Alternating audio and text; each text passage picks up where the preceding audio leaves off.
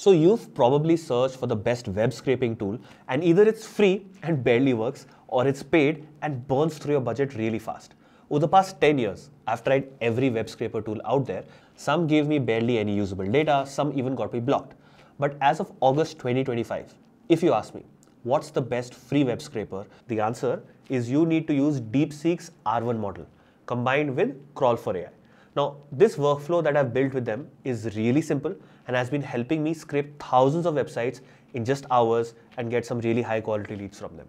So that's what I'll show you today. If you don't know, this entire channel and video is brought to you by our very own product Malcare. is the most complete website security and we've made a special free plan for our community that I'll link below. Now, getting back to the tutorial, first we need to install all the tools that we need for this process. So we will be using Cursor as our IDE which basically means that this is the program where we write and run our code. And Crawl4AI, which is an open source web crawler that can visit websites, pull their data, and pass it on to our AI models for processing. So first, let's go to cursor.com and then download Cursor. Now, once that's installed, head over to the Crawl4AI GitHub and copy the clone URL. Now, inside Cursor, open the AI agent, type clone this repo, paste the URL, hit enter, and it will pull all the files into your workspace. Now, you can use Crawl4AI in two ways. You can run a virtual environment or you can use Docker, which runs the scraper in a self-contained container and makes it easier to manage or delete things if you ever need to reset. So if you're unsure, just use Docker. It's the easier way to do it. Next, we're going to set up the API keys for each AI model so the crawler can send data to them and get results back. So let's start with DeepSeek go to DeepSeek's API platform, go to the API keys section, click create API key and then copy it.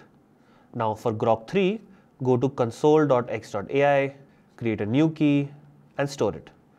Now for ChatGPT 5, log into your OpenAI API platform, click create new secret key and save it. Now all three keys will go into your environment variables or your .env file later. This keeps them hidden from your code and secure from anyone else. Now, most websites you want to crawl will have some sort of bot protection, things like Google reCAPTCHA or anti-bot systems that will flag you if you send too many requests. The easiest way to get around that is with a rotating proxy. This routes your requests through a pool of different IP addresses. So instead of all of your traffic looking like it's coming from one source, it's spread over hundreds. Now, I've personally used Evomi and Bright Data for rotating proxies. And no, this isn't sponsored, I wish, but no, I just like how useful they are. Now, once you set up one in your crawler, all your scraping requests will automatically route through it, keeping your IP safe. Another thing to keep in mind is the context window. This is how much information an AI model can process at once. If you feed it too much, it will start dropping older parts of the data. That's why I use the biggest context window I can for processing the raw data DeepSeek R1 has 64K, ChatGPT 5 has 32K, so R1 can handle much bigger datasets in one go. And of course, check the pricing before running very large scraping jobs. Grok 3 is around 30 cents per million input tokens and about 50 cents for output, while DeepSeek R1 is still one of the cheapest option for large scale scraping. Prices change often, so always check the API docs first. Once everything's ready, it's time to scrape data. For this example, I'm going to scrape real estate sites because they are one of the easiest niches to get rich contact form data from. And you can tell the crawler to target a specific site and then run the tool. Now, when the crawler finishes, the raw output is just HTML. So it's tags, divs, and random scripts. That's where the AI model takes over. It'll clean the data, fix the formatting, and then make it usable for outreach. Now, I always export the clean data in three formats.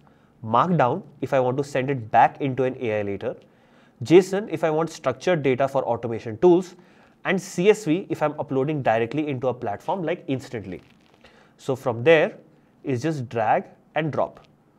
I import the CSV into Instantly, map the columns like name, email, and personalized line, and instantly I have a ready to send cold email campaign. With proxies in place and the AI models working together, you can repeat this process over and over, scraping fresh, targeted leads without worrying about blocks or messy formatting. Now, getting these leads is just the first step. You actually need to convert them as well. At some point, they will check your website, even if it's to fill a contact form or something else. And if it's a slow loading one with a bad user experience, it's going to really hurt your brand and your conversions as well. So basically, having 90 plus page speed is super important. And we've built a free tool that does exactly this for you. And it's automated. And I'm demoing this in the next video, which also has 100,000 views, by the way. So I'd recommend you check that out next.